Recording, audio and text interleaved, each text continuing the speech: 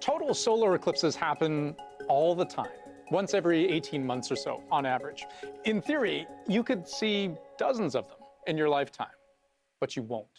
The one coming up on April 8th may very well be the only one you will ever experience, if you're lucky, and I'm going to explain why. This is an experience beyond all experiences. You can't prepare yourself properly for what this is like. I've been told to see a total solar eclipse is a defining moment in one's life. The bright sky gives way to a creeping darkness. The ambient light changes, the air gets colder, and the moon slow glides into place. These brilliant beads of light shimmer and disappear one by one until there's nothing left but that dancing glow of the sun's corona, its atmosphere, giving this halo to the moon. This spiky streamers and long brushes and these shapes that you can't even describe come shooting off the surface of the sun. But the sun's rays completely blocked. You cannot prepare yourself for how intensely cosmic it is to stand in the shadow of the moon and observe the corona. So that lead up those last 15, 20 minutes leading up to the shadow of the moon arriving on top of your head and transforming your environment. It is a peak experience. It was a peak experience in my life. Wow,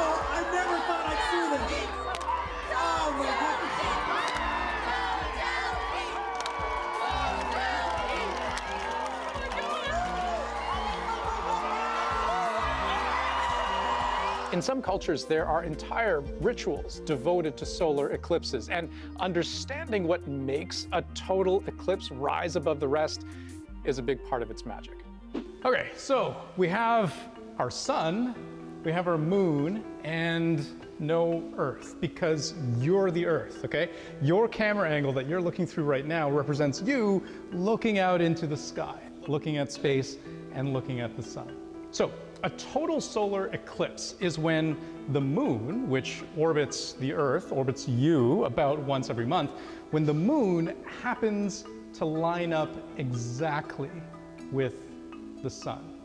Which, considering the two things aren't anywhere near the same size, is sort of amazing. But your camera angle helps us explain why.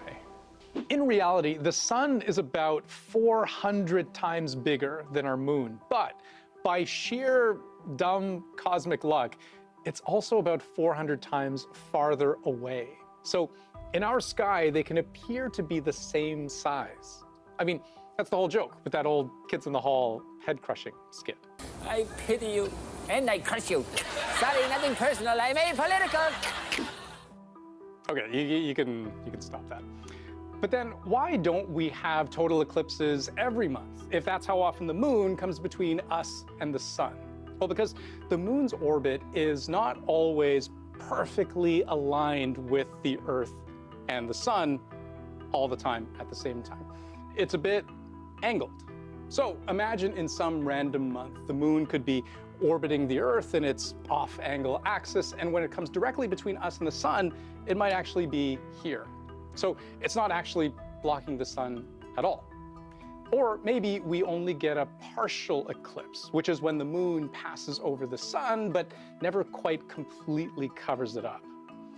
Or sometimes, because the orbit is an oval, it's not a perfect circle, meaning sometimes the moon is farther away from us than normal. It actually appears smaller in the sky than the sun. We call that an annular eclipse. Or maybe you've heard of the ring of fire eclipse. Same thing. But the moon casting a shadow on the earth in such a precise way so that the sun and the moon are exactly the same size in the sky and they overlap exactly one on top of the other. That only happens once every one or two years. And for you and me specifically, depending on where you live, April 8th might be even more special than that. Reality, the moon's shadow on Earth will be like the head of a pin at any given moment. So while we have very precise knowledge of exactly where that pinpoint will be at any given hour on April 8th, it's so small and it's moving that the odds of you ever having been in that sweet spot before are pretty slim. Because sometimes that total eclipse is over the ocean, or the southern tip of Africa, or slicing through Japan. For a city in what's called this path of totality to ever find itself in that shadow cone again, on average, you'd have to wait about 375 years. Mostly we have to go all the way around the world and back to see these things. This is a gift coming to us. So, to be in that 180 kilometer wide moving pinpoint as the moon's shadow cuts a swath through southern Ontario, Quebec, and the Maritimes, the closer you are to that circle's center, the longer of a total eclipse you'll get to experience. Maybe as many as a few minutes if you're in the right place at the right time, and if you have clear skies. That's the real wild card, and why the most dedicated eclipse chasers out there are all heading to Mexico. So I've chosen Mazatlan in Mexico. It's way down on the Pacific coast of Mexico, looking out into the Pacific Ocean. And when you look at the whole path of totality this time, it has the greatest chance of clear skies. Then, as you move up into the United States and then across Canada, the chance of clouds increases as you go along. So, I'm choosing Mexico simply because we have uh, a very high likelihood of seeing the thing. I should be clear if you're not in this very specific shadowy band, that means you will not see a total eclipse. You will see a partial eclipse. That's for almost all of North America. But know this the chance to see a total eclipse anywhere is very much a limited time offer.